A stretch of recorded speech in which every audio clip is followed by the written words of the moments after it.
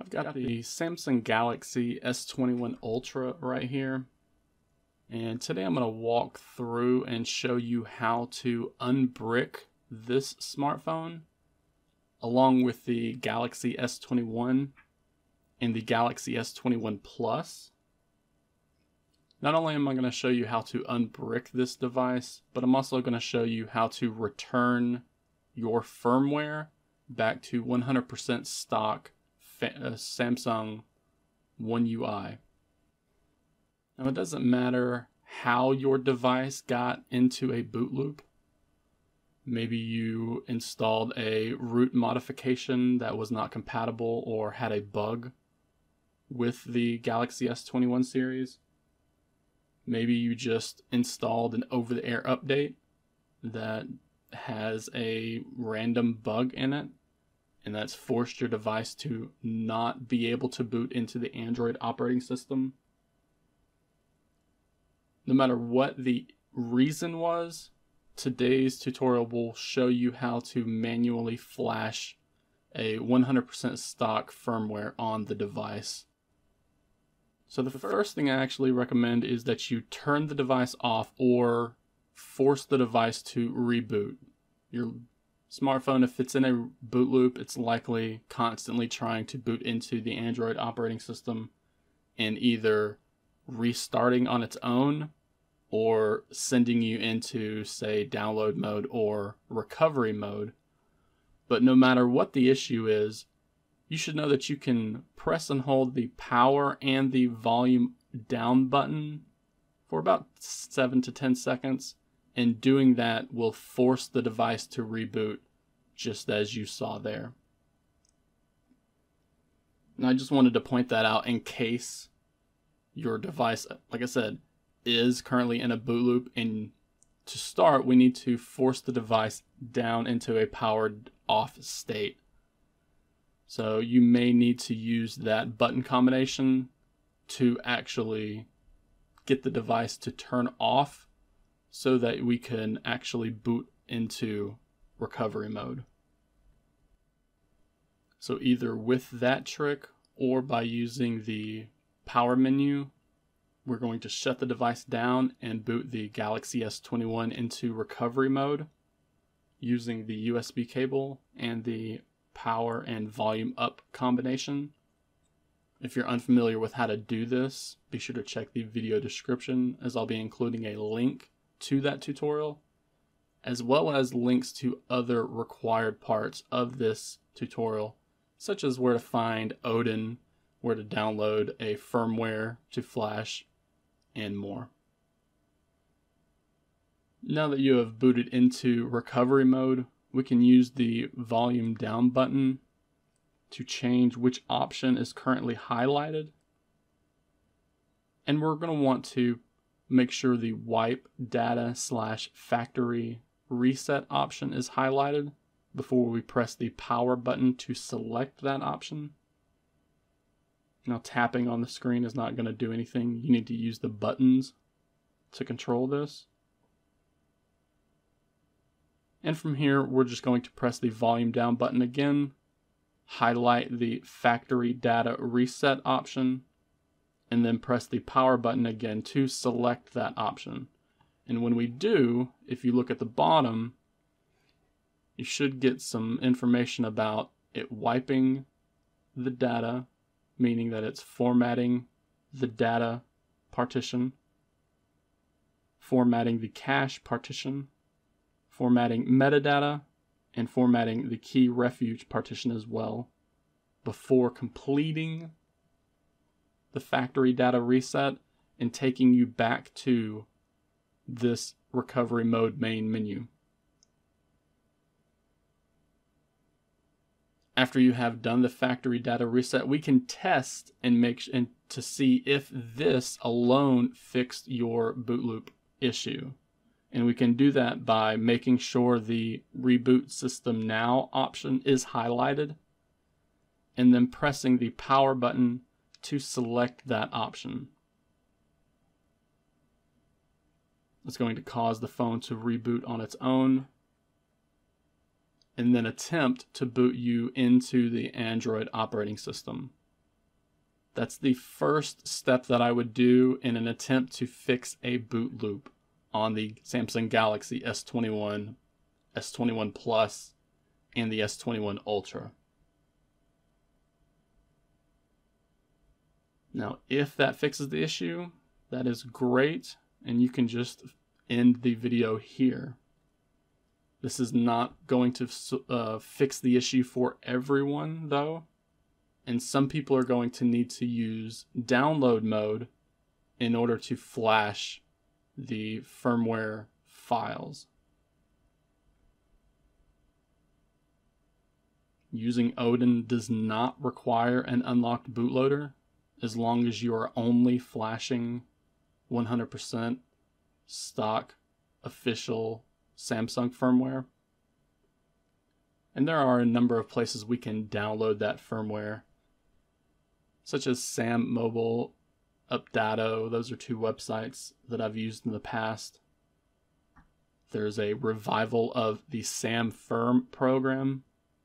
I'm currently using the Frija program to download Samsung firmwares. And just as you saw here, it's going to take some time in order to boot back into the Android operating system after you have done a factory data reset. You're just going to want to be patient and wait for the device to boot. Now, if you are not able to boot back into Android,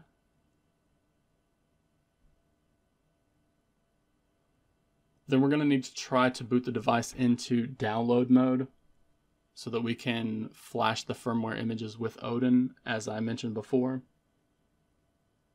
And we're going to want to power down the device, again, just like before when we needed to boot into recovery mode.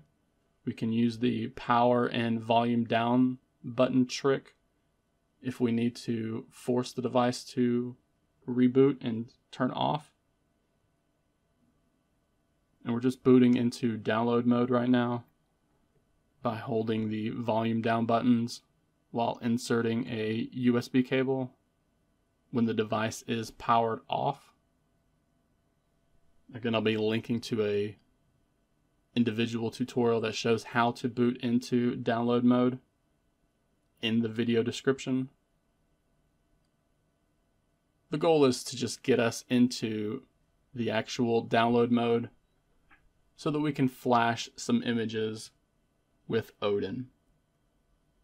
Just to give you a heads up, this is the firmware file that I downloaded with the Frija program. This is a compressed file that when extracted will give you a bunch of individual files like this. They start with certain letters AP, BL, CP, CSC, and then home CSC. This is the firmware that's currently running on your device. And we're going to use Odin to flash those firmware files to our Samsung Galaxy S21. Now, with our smartphone in download mode and with our smartphone connected to the PC with a USB cable, you should see an added message in the log window of Odin. If you don't, then there's likely some type of USB related issue. I would try using a different USB cable. I would try using a different USB port. And potentially trying to use a different computer entirely if you are unable to resolve the USB driver issue by installing a program like Samsung Smart Switch, which should get your computer ready for this. So once you see that added message right here, and you one of these windows shows that a device is connected by telling you which COM port it's using, we're then able to start loading these firmware files into Odin, into these slots, so that we can flash them to our device. So all we need to do is click the BL button right here. then you're going to want to browse to wherever you have those firmware files. And we're going to start loading these up. So we click the BL button. That means that we load in the file that begins with BL in that slot. We then click the CP button, and then we load in the file that begins with CP.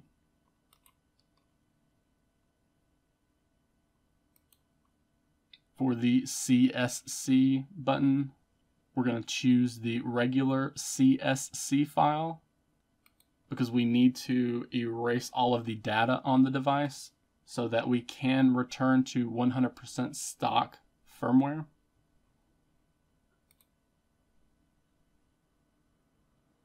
And then at the end, because it takes Odin so long to actually load that file, we're going to click the AP button and then choose the massive 7 gigabyte file that begins with AP.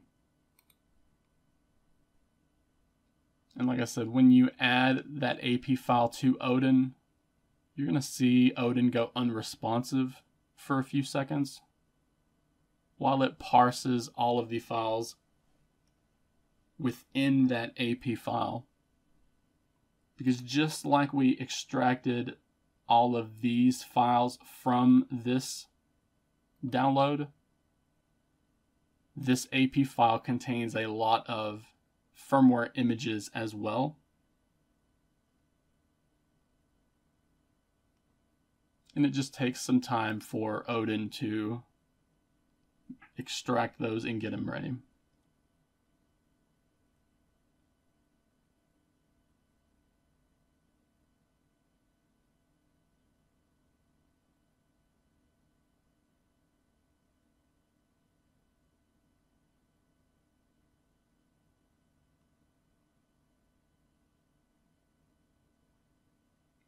Whenever it starts to respond again, we just want to check that all four of these files are loaded into those slots.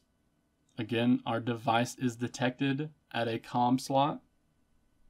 Our phone is in download mode and it's connected to the PC with a USB cable. With all of that done, we can then click the start button to begin the unbrick process.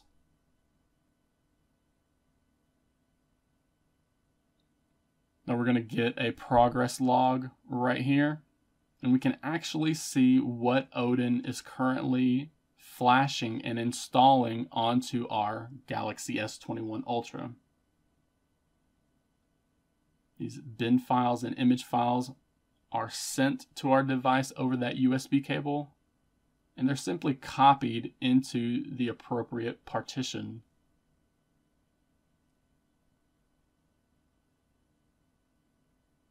This super dot image is a very big image file. It contains a number of different images.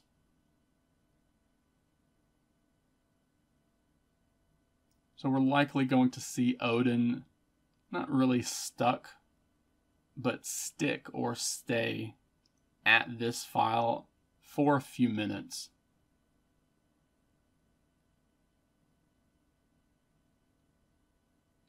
Not only do we have a progress bar right here, but we also have one on the Galaxy S21 Ultra as well. So that we can make sure that it's not stuck or frozen or anything. And we're just going to wait for that green pass message right there in Odin. And when we see that, we should see our Galaxy S21 reboot on its own, unless you unchecked that option. If you did, then you'll need to force the device to reboot using that same method mentioned earlier. And we're going to be patient while the device boots back into Android. Just like the earlier in the video when we had to wait after performing the factory data reset before we could try to activate Android again. We're going to need to wait the same amount of time after we manually flash those firmware files. So I'm going to skip through the activation process real quick. So we're back into Android. You can see everything has been uninstalled. I no longer have Magisk there. Download root checker. I no longer have root access. Everything has been returned back to 100% stock firmware on my Samsung Galaxy S21.